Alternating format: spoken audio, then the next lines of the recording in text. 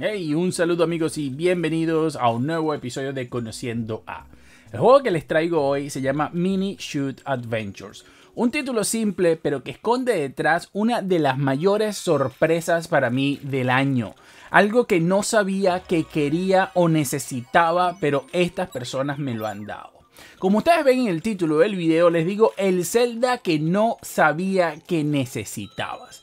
Y es que Shoot Adventure es en esencia un Zelda a la vieja usanza, pero con un giro de tuercas. En este caso hablamos de un juego que si bien en su concepción tiene los elementos de Zelda y por qué no de Metroid en cuanto a la forma que vas abriendo camino, realmente al mismo tiempo el juego es un bullet hell. Es decir, un juego de estos donde hay miles de balas por toda la pantalla y tú vas manejando una nave a la cual tienes que ir esquivando. Y la verdad es que he estado unos días desconectado donde nada parecía que mm, yo quería jugar. Hasta que ha llegado este juego y no sé cómo decirles que tienen que jugarlo, tienen que darle una oportunidad porque estoy simplemente enamorado de este título. El juego es súper simple en su historia, el malo de turno ha resurgido y es tu turno despierta para pues salvar a, tu, a, tu, mundo. Entonces tú tienes esta nave, porque pareciera que todos los habitantes de este, de este universo son naves, y entonces en esta nave pues vas a ir, pasa, mm, digamos, pasando los niveles, bueno, no son niveles, sino este mapeado que vas a ir descubriendo y abriendo, y vas a ir encontrando dungeons al estilo muy Zelda. Pero además de eso, cada vez que estés eliminando enemigos, estos te van a dejar, digámoslo así, como experiencia, que realmente son como cristales rojos que se van a ir llenando. Y cada vez que se llena esa barra, te va a dar un punto y ese punto lo puedes ir después gastando, digamos, en eh, diferentes habilidades o en mejorar habilidades como eh, más daño el disparo, la velocidad de los disparos, la distancia de los disparos, la velocidad de movimiento y así un sinfín de otras habilidades que se van a ir abriendo a medida que vas jugando. Obviamente, estas habilidades te ayudan a hacer la nave más fuerte, a facilitarte lo que es el movimiento en diferentes áreas, etcétera, etcétera. Pero también, como todo juego de este estilo que se precie, vas a tener que ir pues abriendo el mapa, descubriendo secretos, encontrando, por ejemplo, más energía, más vida, más em, fuerza, porque tienes varias habilidades. Entre ellas tienes la posibilidad de acelerar. Y evidentemente la, energía de aceleración te va gastando, aunque esta se rellena automáticamente. Pero a la medida que vas encontrando estos, digamos, contenedores secretos, esa energía te va a durar más tiempo. Entonces puedes ir cada vez manteniendo lo que es la velocidad durante más tiempo. Asimismo, pues como vas a encontrar habilidades nuevas, como justamente la habilidad de acelerar, es justamente una de las habilidades que tienes que encontrar, pero también vas a encontrar la habilidad como de, eh, digamos, dar un pequeño salto de distancia para que puedas pasar a esos eh, puntos que este, de otro modo caerías. Entonces todo esto lo convierte desde mi punto de vista en una especie de celda, porque tienes estos poderes que van a estar abriendo para encontrar nuevos caminos, ¿ok? Pero también tienes estos calabozos donde al interior pues es como su propio minimapa, donde están sus secretos eh, escondidos, donde tienes que encontrar el malo de turno, usar llaves para abrir áreas y pues encontrar cuál es el, digamos, la habilidad nueva que te van a dar en ese eh, calabozo para poder seguir avanzando y así sucesivamente y cada vez pues evidentemente hacerte más y más fuerte.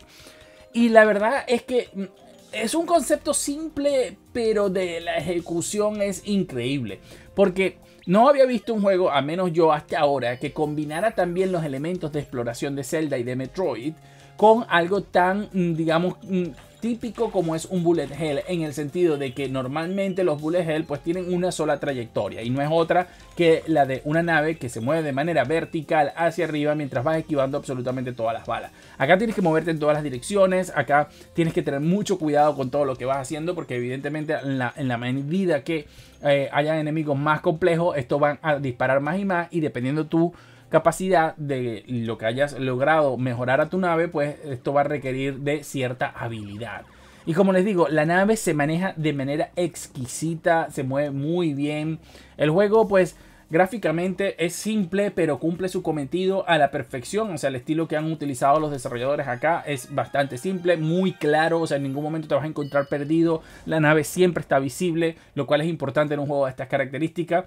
Luego, el mapa. El mapa está muy bien hecho porque eh, en algunos momentos puedes decir, no sé si estoy yendo hacia el lugar correcto o no, pero siempre va a haber movimiento. Entonces vas como buscando ese movimiento, ¿no?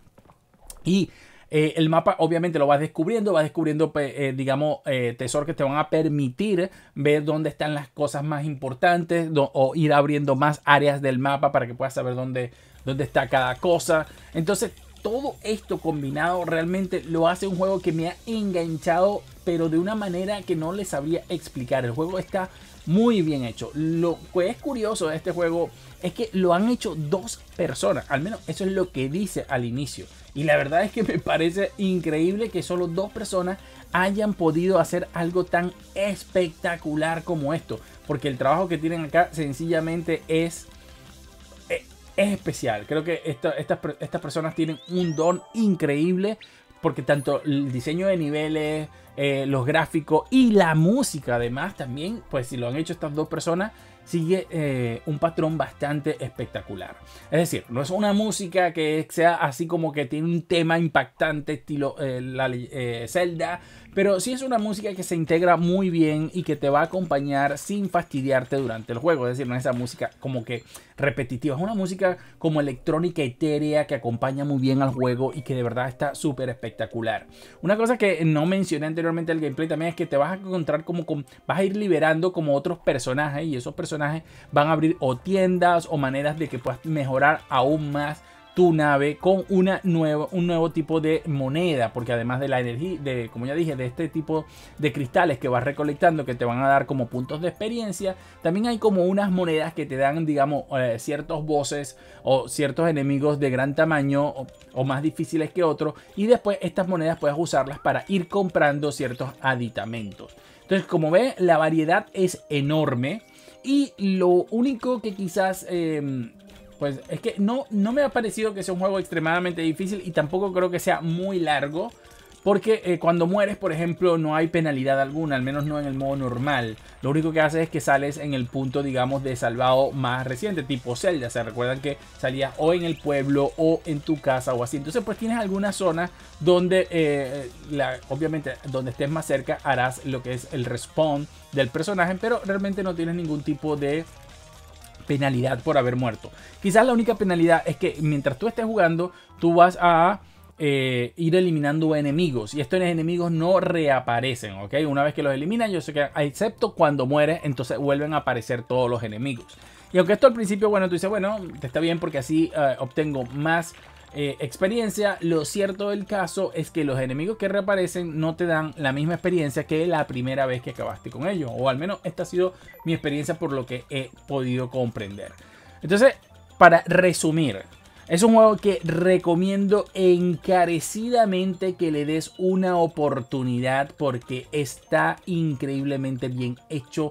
Me ha encantado, estoy enganchado y después de esta sequía donde no sabía qué jugar, haberme encontrado con esta sorpresa ha sido espectacular. Les digo, es un juego que si te gusta Zelda, te gustan los Metroid, te gusta la exploración, te va a encantar. Yo no soy fan de los Bullet Hell porque de verdad que me siento agobiado, pero aquí la curva de dificultad está perfecta, el personaje se maneja muy bien y esa combinación de Bullet Hell con exploración simplemente me ha encantado. Yo espero que el estudio que ha hecho esto pues tenga mucho éxito, que al juego le vaya muy bien y podamos ver otras producciones de ello y por qué no una segunda parte inclusive mejor porque lo que he jugado hasta ahora me ha encantado y quiero que tú también lo experimentes porque creo que va a ser una sorpresa completamente inesperada. Así que Mini Shoot Adventure tiene mi mayor recomendación. Si te gustó este video, como siempre, dale like, compártelo y ayúdame a seguir creciendo simplemente suscribiéndote que es completamente gratis. Un saludo y nos vemos en el próximo video.